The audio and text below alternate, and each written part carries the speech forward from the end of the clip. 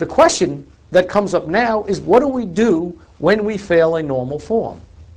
And what we do is what we always do. And this is where the mathematics begins to come in in terms of the way to apply normalization. And here's the first rule that is always true. Whenever you fail a normal form, you must create a new entity. So let's do that. What I'll do at this time is erase our form. I think we do not need it anymore. And now let's see what happens. We're going to create a new entity. So we do that by creating a box. Of course, the question now becomes, what is the primary key of the new entity? Whenever we create an, an entity, we must have a primary key. The following is the next rule. That is always true.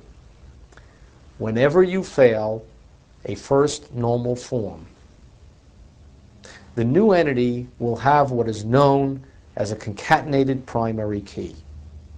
A concatenated primary key means that you're going to have more than one element that comes together to form a key. One of the things that SQL allows us to do. And part of this rule is that the new primary key will be a concatenation from the entity that failed, which is the order number. So I would take order number, and I'm going to concatenate it with this key. And the new entity would be called order items. So my primary key is order number, item number, which means that this entity would keep the orders, and this entity would have the orders, but all of the items associated with that order. Now, let's get into the concepts now, what we meant by a non-keyed attribute and a key and dependency. What we've really discovered here is that item number is not a non-keyed uh, not a non-keyed attribute. It very much indeed is part of a primary key, and therefore the elements that depend on it must go with it. And as we can see here, item name, item price, item quantity, and item amount are all dependencies now of the item. So what we're beginning to do is create what they call a dimensional filing system. Many of you may have heard of the word called flat file.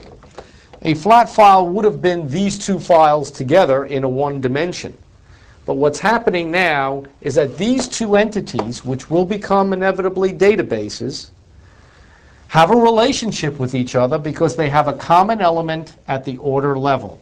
This is the order. These are all the items associated with that order. And that's why we call a relational model dimensional, because not all of the pieces of the data are residing in one physical file.